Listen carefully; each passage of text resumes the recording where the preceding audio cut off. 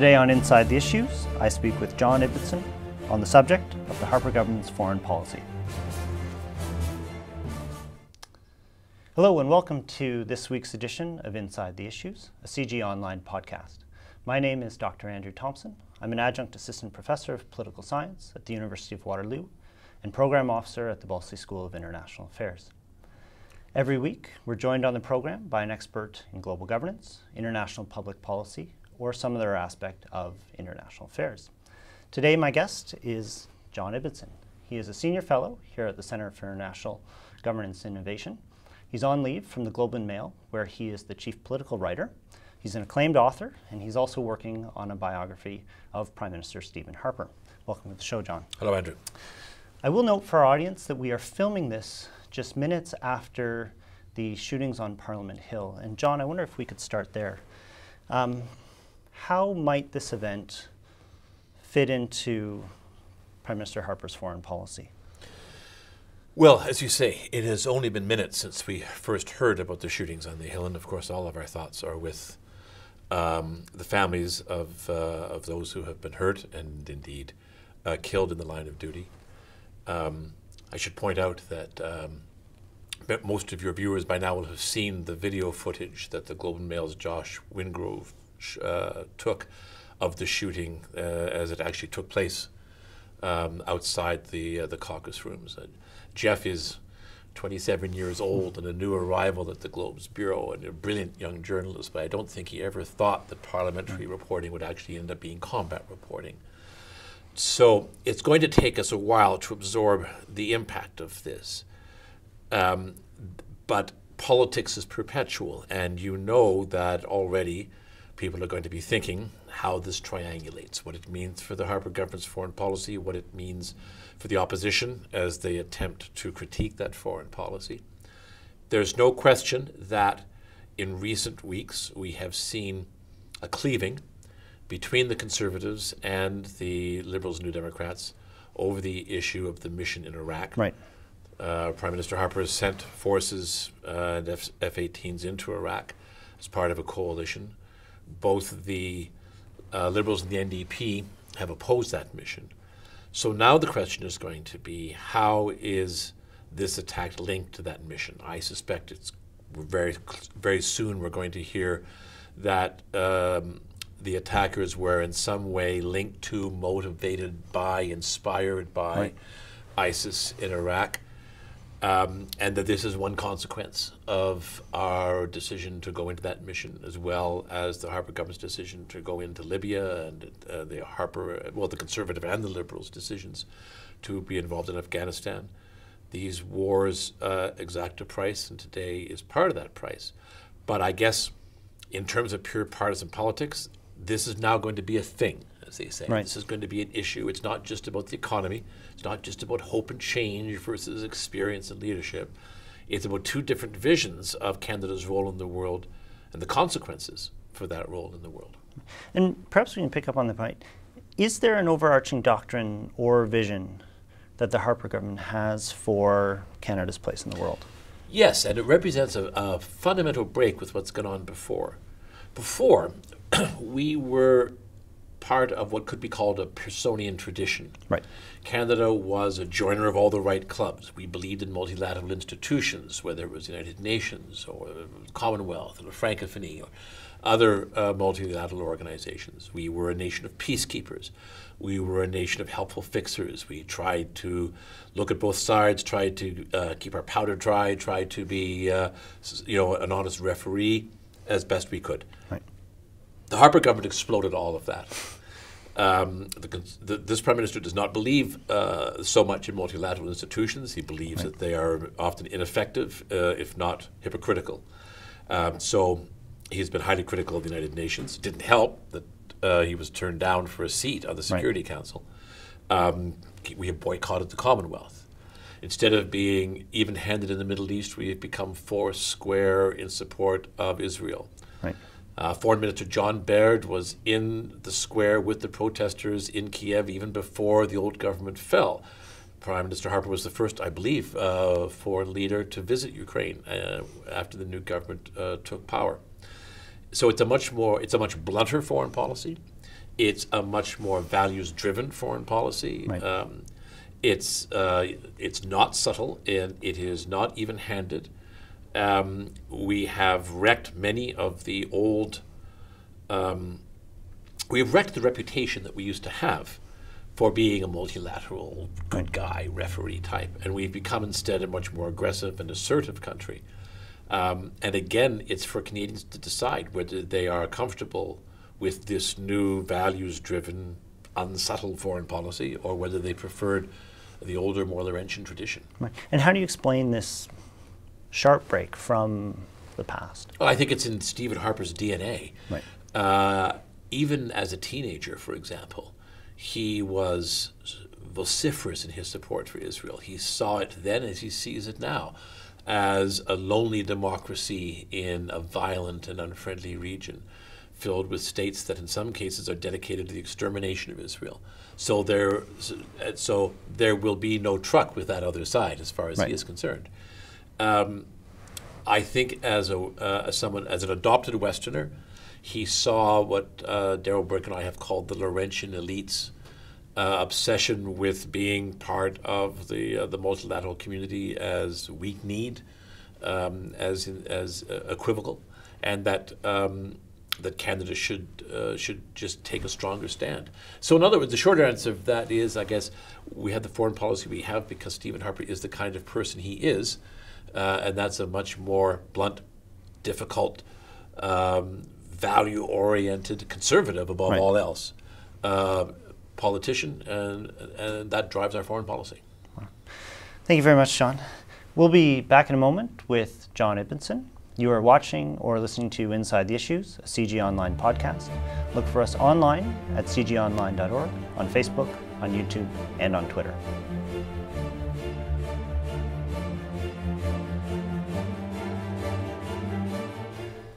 Welcome back. John, every Canadian government has its successes. Pearson has Suez, Trudeau normalized relations with China, Mulroney had free trade, the Chrétien government had the landmines treaty. Have there been any notable foreign policy successes for the Harper government? I think yes, in the area of trade, especially. Um, you mentioned trade under the Mulroney government. Brian Mulroney negotiated, or his government negotiated, the most important trade agreement in Canadian history: free trade with the United States. Stephen Harper has done um, thus far two big things on that front. He, uh, his government negotiated a free trade agreement with the European Union. Once ratified, it will be the biggest trade agreement we have signed since uh, NAFTA, um, and it will give us access to the world's largest market. Potentially, even more important though, um, earlier this year, Canada signed a free trade agreement with Korea. Right. That's the first Asian country that Canada has signed a free trade agreement with, and it signals a fundamental shift in the values and priorities of this government um, towards Asia, away from the Atlantic, towards the Pacific. I think that's the harbinger of things to come. And I think down the road, people are going to look to the free trade agreement with Korea in particular as, as a pivotal moment in Canada's evolution into a Pacific trading power. Right. On the flip side, any notable failures or missed opportunities? Well, as we mentioned, um, Canada failed for the first time in its history to secure a temporary seat on the United Nations Security Council. That certainly is a black mark. Uh, the, in the longer term, did we succeed in our mission in Afghanistan? Did we succeed in our mission in Libya? Did we succeed, or will we succeed in the mission in Iraq? Um, this has occupied Canada now for more than a decade. The Liberals started it, the Conservatives continued it and accelerated it. Um, and one of the things that historians are going to be debating, I think, for decades to come, is whether it was worth the cost in blood and treasure to get involved in that turmoil, and in some cases to make the turmoil even worse than it was before. I don't know whether we should have done it. Right. Uh, time, as they say, will tell. Well, just on that point, um, as you noted, we've been at war since 2001, first in Afghanistan and now as part of the coal- coalition against the Islamic State um, in Iraq and Syria. And for all intents and purposes, the Harper government has only known times of war while it's, it's governed. How has this shaped its worldview, do you think? Well, it's, it's for one thing, it has changed our notion of what war is. Uh, you're, you're absolutely correct, Andrew, that ever since 9 11, arguably, the West has been at war with Islamic, uh, Islamic extremism uh, in, in, one shape or another. Of course, it's very different from real war. And I say mm. that as the son of, of uh, a father who fought in the Second World War. Right. I just came back from South Korea, where even now the, the, the trauma of the Korean War is, uh, is, is visible. I was actually at the United Nations Cemetery looking at the graves of the Canadian war dead. So there's war and then there's war. Right. And this is not that kind of war. What it is is a, a perpetual heightened tension, um, a perpetual um, conflict between the needs of national security and uh, the rights of citizens, as privacy rights. I think the Harper government has probably erred, if at all, on the side of national security. Right. It is more concerned about finding and deterring uh, bad people from doing bad things than it is about protecting the privacy rights of citizens. I think during the calm periods in, in this conflict, uh, we have tended to ask ourselves whether government's gone too far, right. uh, whether we are sacrificing individual civil liberties. I think today, in particular, though, uh, the shoe is on the other foot. Right. Um, I wonder if we could shift gears slightly. There are some who argue that at the end of the day, the only relationship that really matters for Canada is the Canada US relationship. How has the Harper government managed that file? And specifically, or put another way, how are we received in Washington and perhaps specifically, how are we received at the White House? Well, there's a flow to Canada US relations, and it more or less coincides with the arriving and departing of administrations. Um, important to remember, the, you know, the Mulroney period lasted about 10 years. The Chrétien right. period lasted about 10 years. The Harper period is going to last at least about 10 years. Um, and it always starts the same way. Each new government comes into power here determined to fix the mess that the previous government left us in. Right. Um, so there's a new initiative, new building of bridges, new attempt to revitalize things. And then there's this kind of steady accumulation of grievances. And over the course of a decade, they add up until finally the situation seems to be positively seized. And then a new administration comes in and, you know, sets out to fix it all again. Right. And that's what we've seen here. Um, Harper came into power after the relationship between Canada and the U.S. had reached a particularly low point over the Chrétien government's refusal to go into Iraq, the ongoing softwood lumber dispute, uh, and other tensions, ballistic missile defense that the Paul Martin government had decided not to participate in. Stephen Harper was determined to fix all that and to get right. things back on the right foot. In fact, one of the first things the government did after coming to power was to settle the softwood lumber dispute. Once Barack Obama came into office, that presented another new opportunity. He's enormously popular with Canadians. there was a poll that said about two thirds of Canadians would rather vote for Barack Obama than vote for anyone in Canada, right. given the chance. Um, so the two leaders used that opportunity to launch the Beyond the Border initiative to create a continental security perimeter to ease congestion at the border in return. There was even some hope of regulatory reform, of harmonizing the regulatory regimes between the two countries so that ketchup would look the same on both sides of the border. Um, that has mostly been accomplished in principle, though not necessarily so much in fact, mostly just because of uh, of lack of money. Right. Uh, it's expensive to create new border facilities. The Americans don't have the money. But there's going to be a new bridge between Windsor and Detroit, and that's a good thing. So right. all of that is on the plus side. Right. On the negative side, again, it's the steady accumulation of grievances. The big one, of course, was the Obama decision, uh, administration's decision not to approve, at least up until now, the Keystone XL pipeline. Uh, the Harper government was furious at that. They were also uh, chagrined at the onerous conditions that the Americans put on Canada's accession into the Trans-Pacific Partnership talks, right. which involves 12 Pacific nations and that are still underway and actually quite bogged down. They really made it hard for us to get in. And um, again, there was a feeling in Ottawa that friends don't do to friends what Washington did to Ottawa to get Canada into those talks. So I think by now we're at a point where um, things are, are at the lowest point they've been since the uh, uh, Conservatives came to power. And it's going to take a fresh election, maybe not necessarily a change of, of government, but certainly right. a fresh election, at least maybe a new president, uh, to get things back on track. Right. Thank you very much, John. We will be back in a moment with John Ibbitson. You are watching or listening to Inside the Issues, a CIGI Online podcast. Look for us online at cigionline.org, on Facebook, on YouTube, and on Twitter.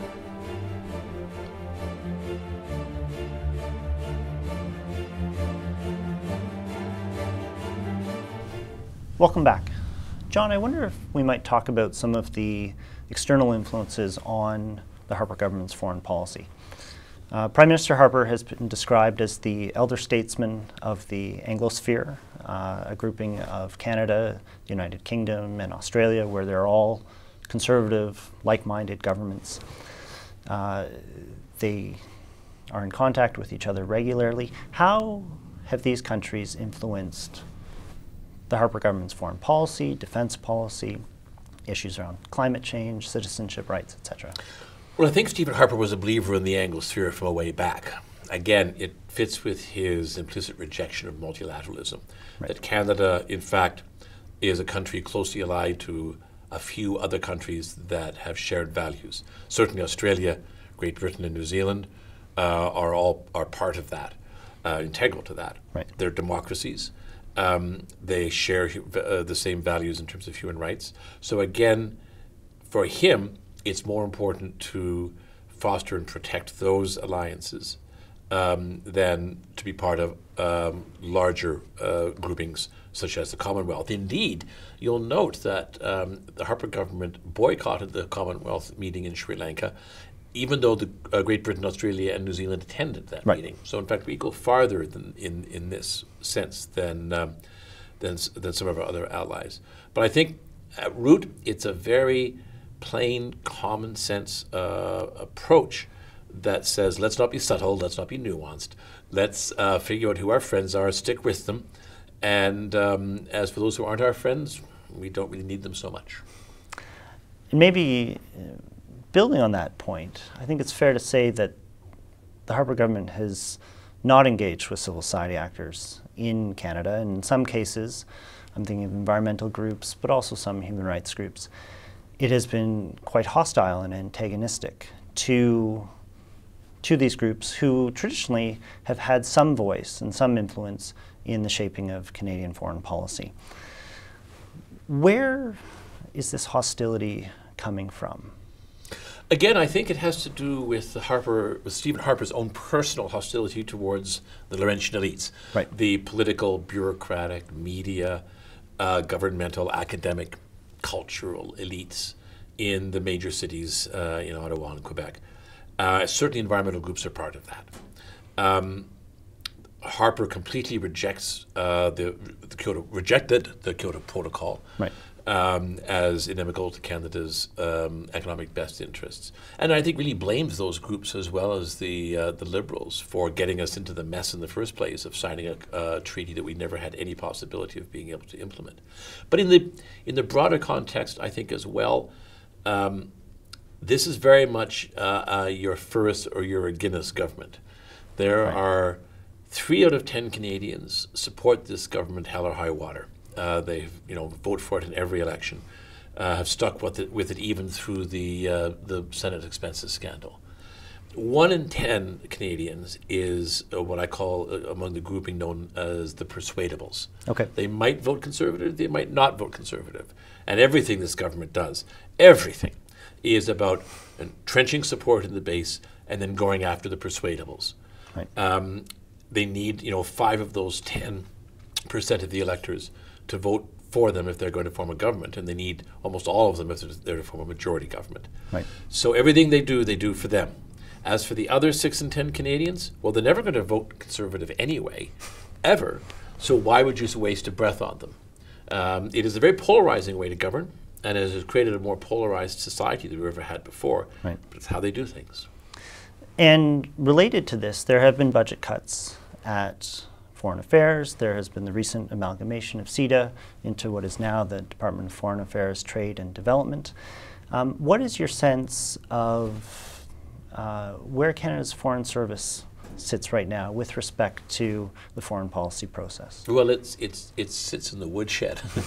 I don't think there is much time or respect either uh, for the, by the Harper government for the Foreign Service or by the Foreign Service for the Harper government. Right. Each is inimical to the other. It's sad, really, because both have skills that uh, they can bring to, to the situation. But this government operates out of the Prime Minister's office out of the office of the Minister of Foreign Affairs with a close knit circle of advisors. Um, and as for the line officers, including even many of the ambassadors, um, in the Foreign Service. They're seen as part of that old Pearsonian tradition, Right. um, which they, they are seen as not helpful. They're seen as an internal opposition to the government. And in some, in some ways, they're right. If you talk to the guys at, at Right. DFAT-D, as it's supposed to be called, or defeated, as it gets called uh, uh, in Ottawa, Right. um, they feel exactly that way about the Harper government. They can't wait to see them gone, and the uh, the you know the the status quo ante returned. So. Um, that's just the way it is. It has been like that now for about 10 years and will go on, I suspect, for as long as the Conservatives go on. Great. Thank you very much, John. We will be back in a moment with John Ibbitson. You are watching or listening to Inside the Issues, a CIGI Online podcast. Look for us online at cigionline.org, on Facebook, on YouTube, and on Twitter.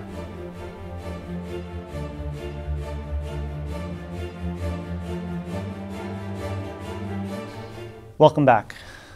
John, I wonder if we might end the, the program by reflecting on how others in the world view Canada, perhaps outside the Anglosphere, but how, how does the world view us right now? Well, the, I think the good news is they, they still view us as a pretty fine place. Uh, polls show this is still a country that people want to come to, would rather live in, the, in. In most parts of the world, they'd rather live here than where they live right now. Right. Um, and uh, so that you know that reputation remains. I think among the elites within the councils of, of foreign policy in Europe and in Asia, there's a feeling that Canada has retreated since the 1990s. It began before the Conservatives came to power, but it certainly has accelerated. That we aren't at the tables we used to be at, that we don't make the contribution we used to make. That said, the the government has been there when it counted. Right? People who say, "Where has Canada gone?" Right. What happened to Canada? Well, we were there in Afghanistan. We were there in Libya. We helped in Mali. We're there in Iraq now. So where do you? Well, if you want to know where we were, we were on the front lines fighting. Is where we were. Um, I think, as well, there is a a belated appreciation on the part of the Harper government that they've dropped the ball in Asia, that um, our Pacific trading relationships are going to be increasingly important over time, uh, that China is Canada's second largest trading partner, and that we have to uh, improve relations with China, notwithstanding the human rights abuses that go on there. Right. So, um, I think in, in much of the world, the answer would be Canada's gone missing. In parts of the world, uh, the answer would be uh, Canada's on the front lines, uh, just as it always was. And in certain parts of the world, especially uh, in, in Asia and the Pacific, uh, Canada has returned. Um, and they're just wondering where it was we, we went. Right. And perhaps we can end by with a terribly unfair question. You know, recognizing that um, the Harper government, you know, has not done its term in office. That there's still, uh, you know, perhaps a lot of governing for it, it to do. What do you suspect might be the foreign policy legacy of this government? I think it will, for better or for worse, be seen as a t- uh, as I call it the big break in Right. a paper that I wrote for uh, for CIGI. That it that under Harper, Canada largely abandoned its Laurentian, Pearsonian, multilateral traditions, became more aggressive, became more rights oriented, became uh, less friendly to those with whom we are not friends to begin with Right. uh, and in exchange, perhaps more friendly to those, towards those who were with whom we were already friends. Canada pursued a much less subtle, much less nuanced foreign policy. Also, it was a foreign policy that um, was driven uh, by diasporas, by uh, communities inside Canada.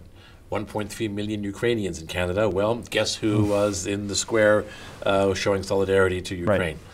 So, and, and I think uh, you know political scientists such as yourself will probably despair over how vulgar some aspects of the Harper government's foreign policy became. As for the guy in the street, they probably didn't notice much of a difference, and to the extent they did notice, they probably liked what they saw. John, it has been wonderful having you on the show. It's been a real treat. Best of luck with the, the biography. Thank you. And thank you to our audience for tuning in today. Please join us again for another episode of Inside the Issues, a CIGI Online podcast. Look for us online at cigionline.org, on Facebook, on YouTube, and on Twitter.